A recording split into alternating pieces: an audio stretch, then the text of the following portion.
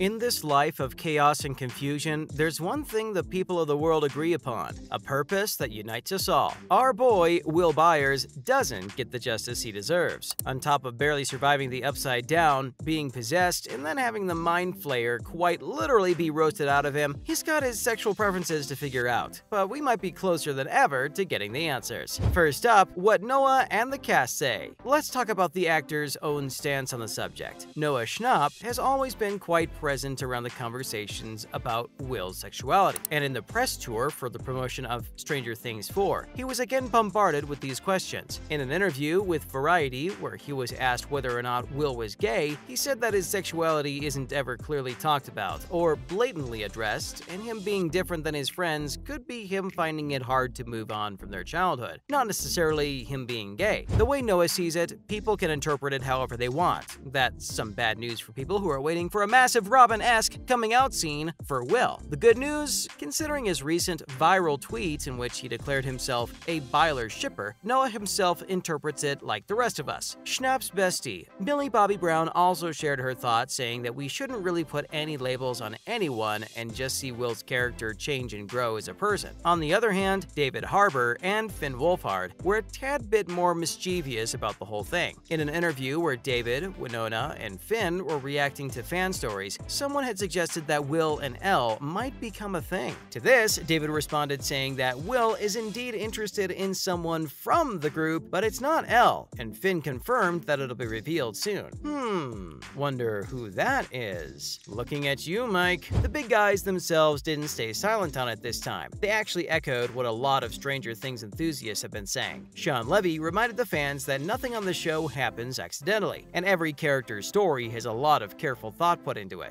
So let's trust the creators and the actors be rational about this and relax. Alright, that's done. Now it's time to psychoanalyze every little hint we got throughout the show. But first of all, Season 4, things are getting serious. Unlike the previous seasons, Will's emotions were actually pretty obvious this time. Nothing's been said so far, not with words, but Noah's eyes were a little too telling. And in case you need reminding, the eyes, Chico, they never lie. So there were two things fans have been speculating from the very beginning. One, he's gay. Two, he likes Mike. Now we agree with Millie about the first one. Labels aren't important or required, but Season 4 has almost confirmed that he's interested in Mike. How so? Well, all the scenes together were aggressively sus. Being the third wheel has become second nature to the poor boy at this point. But this time it was different. The way he phrased his concerns about El misleading Mike, saying it wasn't what he deserved, and the way he was just out of it the whole time. You could kind of see that he was a bit jealous. Some fans think that might be a bit far-fetched, that he was just mad because he was being ignored. But some other things can be neglected. Take Will's painting, for example. We don't really know what it was, but clearly it was something special and was meant for Mike to see. More than just once, we see Will's gaze following Mike with a mix of longing and sadness, like the time Mike left the table to give El her breakfast and talk to her, and later, perhaps more unmistakably, when they're digging the grave for the unknown hero, Agent Man. In fact, this scene gave us those lines he says to Mike that are being talked about a lot. He tells him how hard it can be to open up about your true feelings towards someone because you fear you'll lose what little of them you still have left. This has to mean something because too many LGBTQ plus people relate to this for them to have put it in there for nothing. There are definitely two sides of the story. What most people on the internet have gathered from their dynamic is that Mike isn't entirely oblivious of Will's feelings. He kind of knows something's up with him.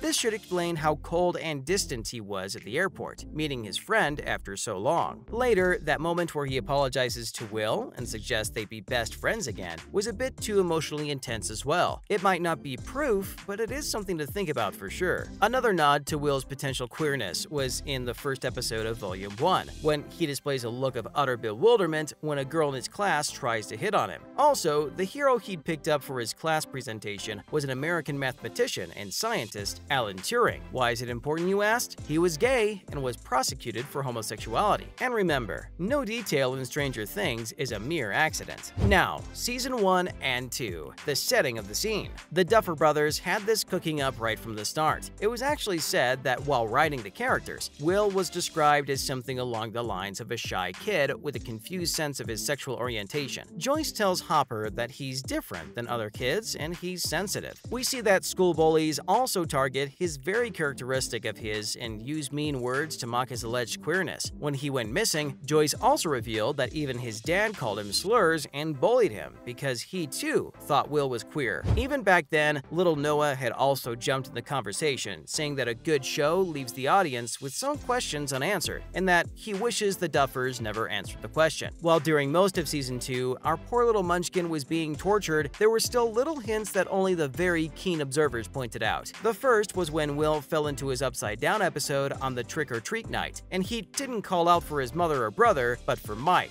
In the first season, when Nancy gets stuck there, she calls for Jonathan and they end up together. Could this be a parallel? Later, we see how much she trusts him when Mike's the first person he confides in about the shadow monster and his now memories. In this season, Jonathan also talks to him and tells him that he shouldn't feel the need to be like everybody else. He should be confident if he likes different things than other people. In the last episode, Will is also quite hesitant to dance with a girl, and when he does, he looks uncomfortable, and the song playing in the background is saying, Every smile you fake. Next, season 3, not so subtle. This was the season when everyone was exploring relationships, and so we got a much closer look into Will. He was quite visibly annoyed by his friends only talking about their romance, which is understandable. We've all been there, but what stood out the most was his fight with Mike, in which he famously fired back at Will, It's not my fault you don't like girls. This clearly hurt Will so much that he went and destroyed Castle Byers in that heartbreaking scene. The dialogue was too direct to not mean anything, so fans became more confident about their predictions. And now, after the first volume of season 4, it seems they weren't that far off. And now, the case against it. Not everyone agrees with the theory that Will is queer or has a crush on Mike. The people who have this opinion think that Will had to go through so much that he's now different from everyone else. Also, after he recovered from all the upside down damage, he just wanted his friends back, but saw that he had changed and moved on from things he liked. According to some, this explains his odd behavior with Mike this season, the fact that he's all grown up and Will himself hasn't figured things out yet. In any case, we think Will needs to receive back the love and care he gives to others. Now, in other news, a mom bro. Turns out everyone calling Steve Harrington a mom wasn't all that far from the truth after all. Caleb McLaughlin, his younger co-star, actually called Joe Keery a real mom bro, commenting on a TikTok. The video that resurfaced was Joe telling Finn to ignore the host's distasteful comments about his name. Next, Winona's impressed. Winona Ryder recently praised all the kids on the show, calling them magic, but there's someone who has impressed her beyond comparison. It's the amazing Sadie Sink. We weren't the only ones blown away by her performance. Winona went on to compare her to Liv Ullmann and called her the next Meryl Streep. Lastly, Gaten's major spoiler. Get out of here, Tom Holland. Gaten's out here spoiling stuff six years in advance. Yes, a 2016 interview recently got viral in which he's talking about fan theories, and one he brings up is almost exactly the same as Vecna's origin. This show has got some really smart fans. That's a wrap for this video. See you in the next one.